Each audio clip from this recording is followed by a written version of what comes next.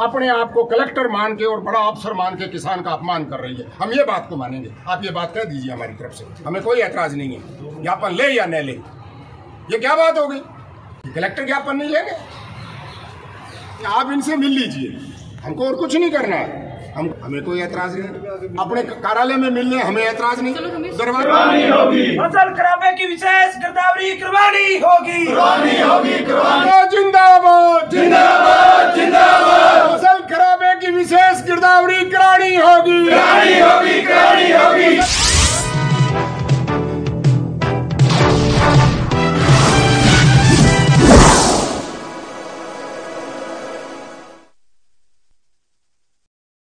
ये आप देख सकते हैं कि इस तरह की हालात नरमा में बनी हुई है।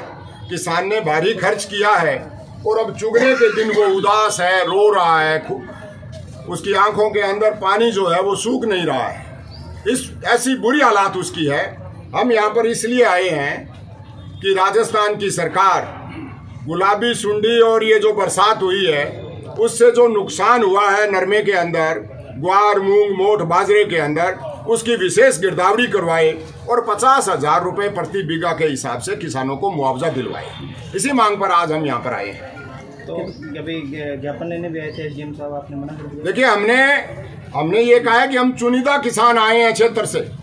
हम मांग करने के लिए आए हैं हम अपना दुख व्यक्त करने के लिए आए हैं अपना दुखड़ा रोने के लिए आए हैं और जिला जिला कलेक्टर अगर किसान से मिलने का समय नहीं निकाल सकते, किसान की बात को नहीं सुन सकते तो इस व्यवस्था के लिए फिर तो हम क्या किन शब्दों का प्रयोग करें? मतलब ये तो एक ठाकरशाही में भी ऐसा नहीं था, रजवाड़ों के टाइम भी ऐसा नहीं था, दुखी आदमी की बात को सुना जाता था। हम परेशान हैं, दुखी हैं, इसलिए यहाँ पर आए हैं। हमने स्पष्ट रूप में एस डी मैडम को ये कहा है कि हम जिला कलेक्टर को केवल ज्ञापन देना चाहते हैं, अपनी बात को बतलाना चाहते हैं। हम जितने लोग आए हैं, उनसे दरवाजे पर आकर मिले, मीटिंग हॉल में मिले या अपने कार्यालय में बुलाकर मिले। हमें मिलना है, हमने अपना ज्ञापन देना है और उनसे मांग करनी है कि राज्य सरकार से आप ये हमारी कार्रवाई करवाएँ। आंकड़ा क्या है? कितना खराब हुआ है? लगभग सत्तर प्रतिशत से ऊपर नरमे में खराबी है। सत्तर से ऊपर नरमे में खराबी है। ये इस तरह की हालात सारी जगह पर है। बीटी बीज के अंदर बीटी बीज में जब से केंद्र सरकार ने नॉन बीटी बीज मिलाने की अनुमति दी है ये भी तय नहीं है भी उसमें नॉन बीटी कितना है। भारी नुकसान है भारी नुकसान।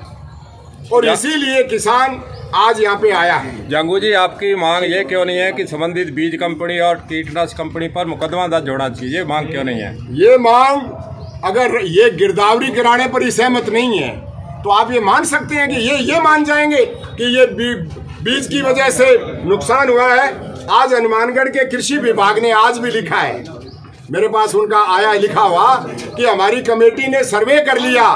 ये ये दवा जिसने छिड़की, उसका नरमा तो ठीक रह गया और जिन्होंने महँगा और कम, कम्बो प्लान की दवाएँ छिड़की है, वहाँ पे नरमे में अपेक्षाकृत ज़्यादा नुकसान है। तो इसलिए बीज कंपनियों के पास भागने के बहुत रास्ते हैं। बीज कंपनियों के पास भागने के बहुत रास्ते हैं। बीज कंपनियों पर सरकार मुकदमा दर्ज करवाए, उनका लाइसेंस रद्द करे, उनकी जाँच करे भी कितना मिला। जब आपका पैकेट भरा जा रहा है, उस समय उसको मापने का यंत्र नहीं है। उस समय आपके पास मापने के और माप पर नियंत्रण लगाने के अधिकारी मौजूद नहीं है तो क्या पता दस प्रतिशत जो आपने छूट दी थी, वो नॉन बीटी दस प्रतिशत है या बीटी दस प्रतिशत है, ये किसको पता है? जिस तरीके से सरसों में ठगी है, एक लाख आठ हज़ार रुपए क्विंटल सरसों।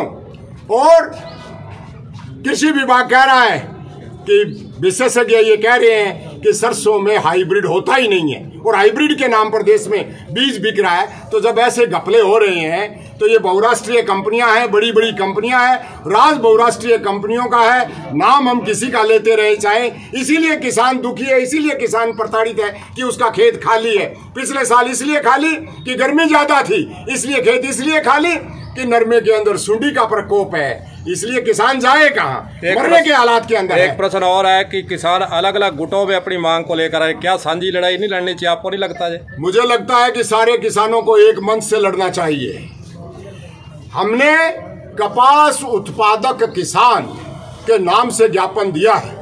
हम किसी तरह की राजनीति नहीं करना चाहते। हम में से कोई आदमी न चुनाव लड़ने वाला है और न किसी संगठन की अगुवाई करने वाला है जो ये कहे कि मेरे संगठन में आ जाओ मेरे झंडे के नीचे आ जाओ। हम कह रहे हैं कि किसानी की झंडे के नीचे आ जाओ अगर किसानी को बचाना है। नहीं तो सरकारों की साजिश है कि ये भूमि बड़ी कंपनियों के पास चली जाए और ये किसान उसके यहाँ पर मजदूर हो जाए अभी जी ट्वेंटी सम्मेलन में भी इस तरह की कोई बात उठी है कि छोटी खेती को भारत के अंदर समाप्त किया जाए और बड़े बड़े जो निगम और कॉरपोरेट घराने हैं, उनको ये दे दिया जाए। तो इसलिए हम सब लोगों को हम प्रयास करेंगे कि सारे लोग एक मंच के नीचे आए और एक जगह इकट्ठा होकर और हम सारे लोग गंगानगढ़, हनुमानगढ़ और दूसरी जगह जहाँ भी कपास पैदा हो रही है, वहाँ के सारे लोग मिलकर इसको लड़ें। परंतु दुर्भाग्य हमारा भी है कि हम आज टिकट दिलाने वाली रैली में तो ज़्यादा तकड़े तरीके से जाते हैं और जहाँ सड़ा गड़ा नरमा लेके जाना चाहते हैं, वहाँ पीछे खिसक जाते हैं कि कहीं मेरे वाली सरकार के जुम्मे न आ जाए। इसलिए ये हमारी कमज़ोरी है, मैं उस कमज़ोरी को स्वीकार करता हूँ। हमारी हमारी फ़सल को सुंडी खा गई और हमारी दिमाग की फ़सल को ये राजनीति खा गई, ये धर्म वाली राजनीति खा गई। इसीलिए हम कमज़ोरी के अंदर हैं, इसमें कोई दो नहीं है, मैं उसको स्वीकार करता हूँ। ठीक है।